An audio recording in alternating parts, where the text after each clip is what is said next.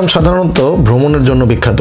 গাছপালা, নদ নদী, পাহাড়, সমুদ্র, লেক, ঝর্ণা, কি নেই এই জেলাতে? পার্বত্য চট্টগ্রামের সকল জেলার মধ্যে অন্যতম হচ্ছে খাগড়াছড়ি। যদিও খাগড়াছড়ি এককালে কার্পাস মহল নামে পরিচিত ছিল, পরে নদীর নামে এর নামকরণ করা হয় খাগড়াছড়ি। এই খাগড়াছড়িতেই অবস্থিত আরেক সৌন্দর্য বর্ধনের জায়গা হচ্ছে রামগড় চা বাগান। রামগড় সীমান্তে শহরে ঢুকার আগেই দেখা মিলবে চোদ্দশো একরের বিশাল বড় এই চা বাগানের। পঞ্চাশের দশকে স্থাপিত এই চা বাগান।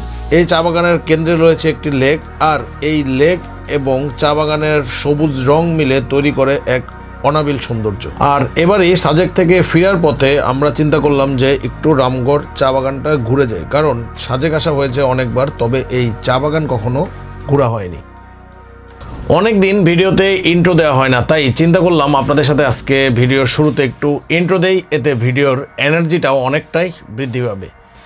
আসসালামু আলাইকুম what's going on every one this is Zahid welcome to my YouTube channel আমার সিভিআরটা সেল করে দেওয়ার আগে লাস্ট ট্যুরটা ছিল সাজেকে, আর সাজেক থেকে ফেরার সময় আমরা গিয়েছিলাম রামগড় চা বাগান দেখতে। অনেকবার সাজেক যাওয়া হয়েছে, কিন্তু কখনোই এই রামগড় চা বাগানটা দেখা হয় নাই। আর রামগড় চা বাগানের সাথে আছে হচ্ছে সেলফি রোড তাই এবার আমি আর সাকিব সৈকত সাজেক থেকে ফেরার পথে সিদ্ধান্ত নেই। আমরা একটু দ্রুত বাইক রাইড করে যাব যাতে সন্ধ্যা হওয়ার আগেই রামগড় চা বাগানটা আর সেলফি রোডটা ঘুরে দেখতে পারি। তাহলে চলেন, আপনাদেরকে ভিডিওতে নিয়ে যাই।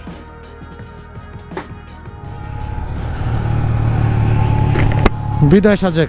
মহান আল্লাহ তালার কাছে অশেষ শুক্রিয়া যে চারটা দিন আমরা সাজেকে খুব সুন্দরভাবে কাটাতে পেরেছি এবং মহান আল্লাহ তালার কাছে প্রার্থনা জানাই যে বাকি পথটাও যেন তার জিম্মাদারিতে শহীদ সালামতের নিরাপদে আমরা বাড়িতে পৌঁছে যাইতে পারি।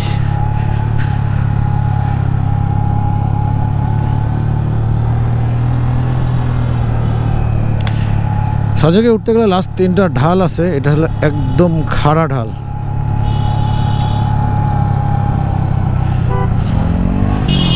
এখানে আমাদের দুজন ভাই ব্রাদারের সাথে এসে পরিচয় হয়েছে। ভাই ব্রাদার বলতে সিনিয়র ভাই, এক হচ্ছে মিলাদ ভাই, আর হচ্ছে শরীফ ভাই। মিলাদ ভাই আর শরীফ ভাইয়ের সাথে অনেক দিন পর দেখা হইল, মোটামুটি বছর খানেকের বেশি হবে। আর আমরা আজকে ঢাকা যাব বাট ওনারা মশার অত্যাচারে সাজেক থেকে বের হয়ে যেয়ে ওনারা যাবে কাপ্তাইতে। পাহাড়ের মানুষের জীবন জীবিকা আসলে অনেক কঠিন, অনেক কষ্টকর। কারণ এই যে দেখেন কি উঁচু ঢাল পাহাড়? আমরা একবার উঠলে আর নামতে চাই না। নামলে আর উঠতে চাই না। কিন্তু ওনারা কিন্তু এই পাহাড়ের ঢালগুলোতেই ঘরবাড়ি বানিয়ে এখানে বসবাস করে। আল্লাহ তালার অপার্থিব সৌন্দর্য সুভান আল্লাহ আসলে এরকম সৌন্দর্য দেখার পরে আমাদের সুক্রিয়া আদায় করা উচিত। আলহামদুলিল্লাহ। আর মাচালংয়ে প্রায় আধা ঘণ্টার মধ্যে আমাদেরকে দাঁড়ায় থাকতে হয়েছে, কারণ এই পাশের স্কট তখনও এসে পৌঁছায়নি। আই মিন, খাগড়াছড়ি থেকে সাজেক আসার যে পথটা বাগাইহাট নামে একটা জায়গা আছে, ওইখান থেকে স্কট নেয় সকাল দশটায় একবার আর দুপুর দুইটায় একবার। আর সাজেক থেকেও স্কট সেম টাইমে সারে বাট মধ্যবর্তী জায়গায় একটা প্লেসে সেখানে একটা স্কট ক্রস করার পরে আরেকটা স্কট বের হয়। কারণ হচ্ছে এখান দিয়ে রাস্তা প্রচণ্ড রকমের সরু, যে কারণে দুর্ঘটনা ঘটার একটা চান্স থাকে। আর গতকালকে শুক্রবার হওয়ায় সাজেকে একদম চিনোচেনা সেই গুলিস্তানের রূপটাই ফিরে পাইছে। আর এখন আমরা আছি হচ্ছে খাগড়াছড়ি। আই মিন খাগড়াছড়ি শহর থেকে বের হয়ে গেছি বাইকে ফুয়েল লোড করে নিছে। ভাবছিলাম যে পিছনে একটা মোড়ে যাওয়ার দিক দেখছিলাম, ডাব বিক্রি করতেছে যে এখান থেকে ডাব খাব। কিন্তু আসার দিন আর সেখানে ডাব পেলাম না। প্রচণ্ড পরিমাণে মাথা ব্যথা করতেছে, তাই ডাব খেতে চেয়েছিলাম। আর গুড়ি গুড়ি বৃষ্টিও শুরু হয়ে গেছে, সুন্দর মতো। সামনে যদি কোথাও দাঁড়াই আই মিন জোরে বৃষ্টি হয়, তাহলে হয়তো রেনকোট পরে মোটো ব্লগিং অফ করে দিতে হবে।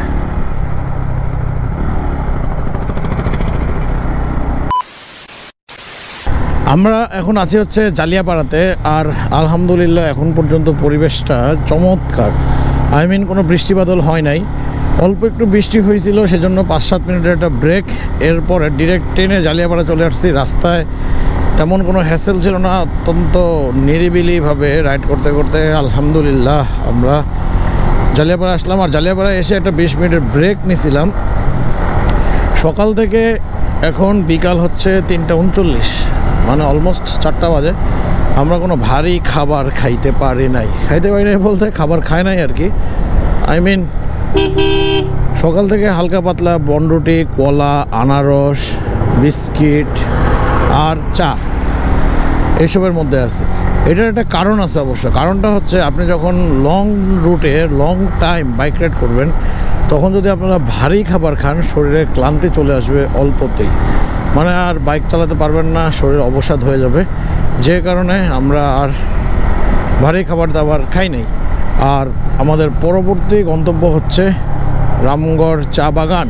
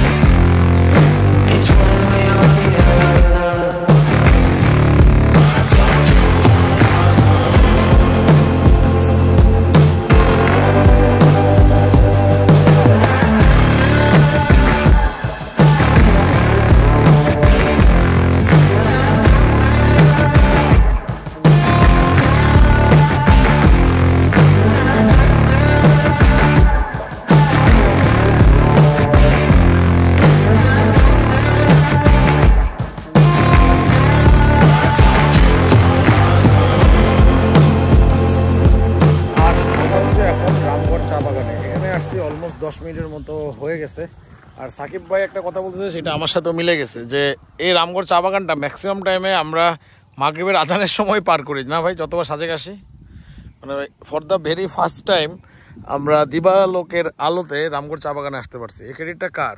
আসিফ ভাইয়ের নাকি? আমার। আপনার হলো কীভাবে? আমি আপনাকে একটু প্যারা দিচ্ছি। কীরকম? আচ্ছা মেন কথা ক্রেডিটটা আমার না ক্রেডিটটা আমার আপনার। আমরা একসাথে সুন্দরভাবে রাইডটা দিচ্ছি। তেমন কোনো ব্রেক দিই নাই, বড় ব্রেক দিই নাই খাওয়া দাওয়া করি নাই। ভাবছি যে আমরা বারাইয়ার হাটে গিয়ে খাওয়া দাওয়া করি। মানে ঘটনা হচ্ছে, আমি আর সাকিব ভাই সকাল থেকে কোনো খাওয়া দাওয়া করি নাই। মানে ভারী খাবার খাই না আমরা জায়গায় জায়গায় দাঁড়িয়ে চা, বিস্কিট, কলা, আনারস এগুলো খাইছি। আর সাকিব ভাই মনে করছে যে আমি একটু মোটা সোটা মানুষ, আমার খাবারের প্রচুর চাহিদা। সে প্রতিবারই আমাকে বলতেছে যে, ভাই, আপনার যদি ক্ষুদা লাগে আপনি খেয়ে নেন, আমি আপনার জন্য ওয়েট করব। কিন্তু সে তো আর জানে না যে, আমার দেহ বড় হলেও আমার খাবারের চাহিদা তুলনামূলক কম। যাই হোক, এখন এখান থেকে আমরা বের হয়ে যাব। কারণ আমাদের টার্গেট হচ্ছে সন্ধ্যার আগে আগে বারোয় হাট পৌঁছানো। আর বারোয় যেয়ে আমরা দুপুরের খাওয়া দাওয়া করব।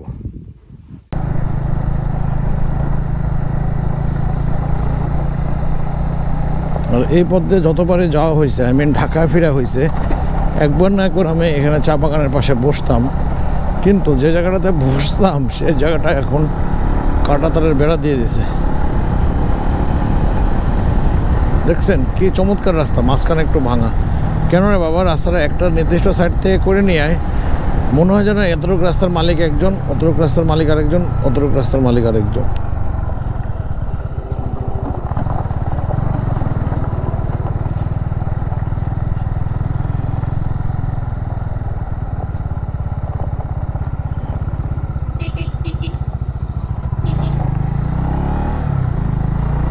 আমি চিন্তা করছিলাম যে এখানে বসবো, কিন্তু সাকিব ভাই ইশারা দিল যে আরও সামনে।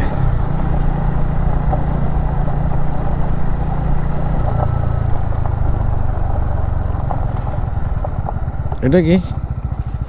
ঢুকতে দিবে নাকি?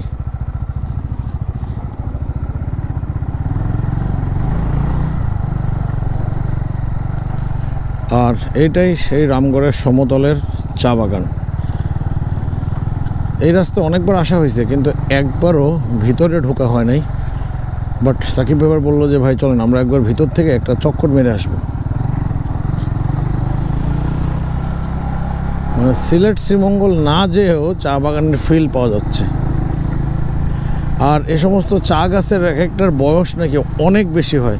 আবার এদের মধ্যে কিছু নাকি মাদার টিও থাকে। সেই মাতৃগাছ থেকে আবার নতুন করে চারা গাছ বানানো হয়। এটা অবশ্য শ্রীমঙ্গলের চা বাগানের গল্প, তবে চা বাগানের সবগুলোর গল্প তো একই রকমই হওয়ার কথা।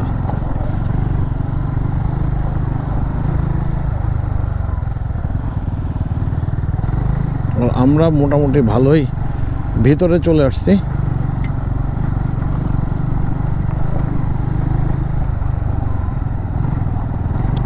আজকে বৃষ্টি নাই, এই কারণে হয়তো মাটির রাস্তা আমরা যেতে পারতেছি বাট যদি বৃষ্টি হতো তাহলে হয়তো অবস্থা আরও খারাপ হয়ে যেত। আর আমাদের মতো আরও লোকজনও আসছে চা বাগান ঘুরতে।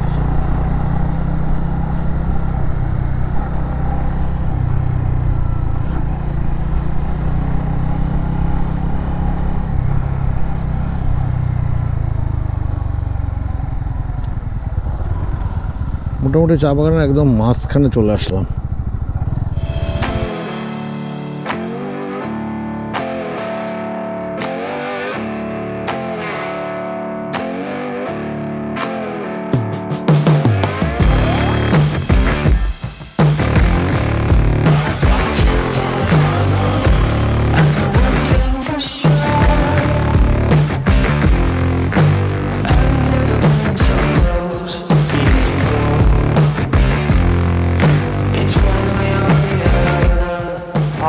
আমরা হচ্ছে এখন রামগড় চা বাগানে। এখানে আসছি অলমোস্ট দশ মিনিটের মতো হয়ে গেছে। আর সাকিব ভাই একটা কথা বলতেছে সেটা আমার সাথেও মিলে গেছে যে এই রামগড় চা বাগানটা ম্যাক্সিমাম টাইমে আমরা মাগরিবের আজানের সময় পার করি। না ভাই যতবার সাজেক আসি। মানে for the very first time আমরা দিবালোকের আলোতে রামগড় চা বাগানে আসতে পারছি। এই ক্রেডিটটা কার? আসিফ ভাইয়ের নাকি? আমার। আপনার হলো কীভাবে? আমি আপনাকে একটু প্যারা দিচ্ছি। কীরকম? আচ্ছা মেন কথা ক্রেডিটটা আমার না ক্রেডিটটা আমার আপনার আমরা একসাথে সুন্দরভাবে রাইডটা দিচ্ছি। তেমন কোনো ব্রেক দিই নাই বড় ব্রেক দিই নাই খাওয়া দাওয়া করি নাই। ভাবছি যে আমরা বারাইয়ার হাটে গিয়ে খাওয়া দাওয়া করি। মানে ঘটনা হচ্ছে আমি আর সাকিব ভাই সকাল থেকে কোনো খাওয়া দাওয়া করি নাই। মানে ভারী খাবার খাই না আমরা জায়গায় জায়গায় দাঁড়িয়ে চা বিস্কিট কলা আনারস এগুলো খাইছি। আর সাকিব ভাই মনে করছে যে আমি একটু মোটা সোটা মানুষ আমার খাবারের প্রচুর চাহিদা। সে প্রতিবারই আমাকে বলতেছে যে ভাই আপনার যদি ক্ষুদা লাগে আপনি খেয়ে নেন। আমি আপনার জন্য ওয়েট করব। কিন্তু সে তো আর জানে না যে আমার দেহ বড় হলেও আমার খাবারের চাহিদা তুলনামূলক কম। যাই হোক, এখন এখান থেকে আমরা বের হয়ে যাব। কারণ আমাদের টার্গেট হচ্ছে সন্ধ্যার আগে আগে বারোয়ারহাট পৌঁছানো। আর বারোয়ারহাটে যেয়ে আমরা দুপুরের খাওয়া দাওয়া করব। বিদায়, রামগড় চা বাগান। মানে আসলে চা বাগানটার একটা আক্ষেপ ছিল আমার, এই রামগড় চা বাগানটার। মানে যতবারই এই পথটা দিয়ে গেছি, সবসময় হয় সন্ধ্যায়, না বিকালে, পরন্ত বিকালের পরে মানে নাইনটি পার্সেন্ট টাইমই ছিল সন্ধ্যার পরে। সন্ধ্যার পরে আর সন্ধ্যায় মানে অন্ধকার হয়ে যাওয়ার পর অথবা সূর্য ডোবার পর। এইবারই প্রথম এই ভর দুপুরবেলা আই মিন বিকালবেলা, এই রামগড় চা বাগানে আসার সুযোগ হয়েছে, আলহামদুলিল্লাহ। আর দিনের আলোতে চা বাগানটা দেখেও ভালো লাগছে, সমতলের চা বাগান। সাজেক থেকে ঢাকা যাওয়ার পথে আপনারা চা বাগান পাবেন এবং অতিরিক্ত হিসাবে একটা রাবার বাগানও পাবেন। আর এটা হচ্ছে সেই রাবার বাগান। হিয়াকো রাবার বাগানের এখানে একটা রোড আছে, যেটার নাম দেওয়া হয়েছে সেলফি রোড। এই যে রামগড়ের যে চা বাগানটা আছে, ওখানেও যেমন আমার অনেক দিনের ইচ্ছা ছিল ভিতরে ঢোকা, ঠিক তেমনি এই সেলফি রোডে রাইড করার অনেক ইচ্ছা ছিল আমার অনেক দিন। কোনো কারণ ছাড়া আর যে সাজেক আসার হবে না, সেটার লক্ষণ আপনি কীভাবে বুঝবেন? তখন বুঝবেন যে সাজেকে যাওয়া, আসার পথ সব কিছু আপনাদের দেখা হয়ে গেল। এই যে সেলফি রোড, এই রাস্তার পাশ দিয়ে বহু সকাল পার হয়ে গেছে, অনেক সন্ধ্যা পার হয়ে গেছে। তবে এই রাস্তায় আসার সুযোগ আর হয় নাই। আজকে আল্লাহর রহমতে এই রাস্তায় ঢুকে গেছি। রামগড় চা বাগান, সেলফি রোড, রাবার বাগান, সব একদম কমপ্লিট হয়ে গেছে। Full package.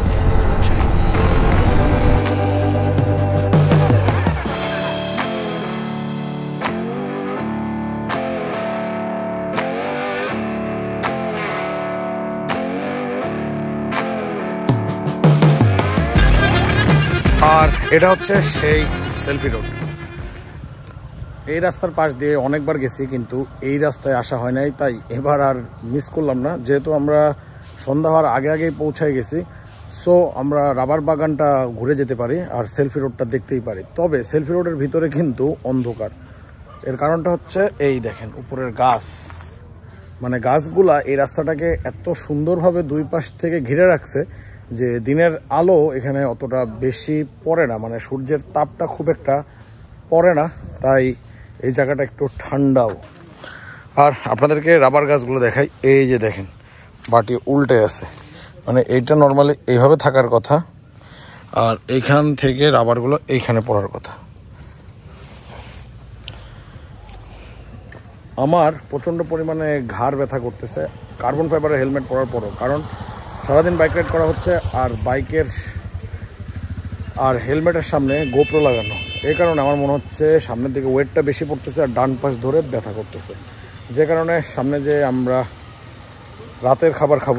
আই মিন সকাল, দুপুর আর রাত তিনটা মিল মিলে একটা মিল খাওয়া হবে। আর আপনাদের কাছ থেকে আমি এখান থেকেই বিদায় নিয়ে নিচ্ছি। সবাই সুস্থ থাকবেন, ভালো থাকবেন।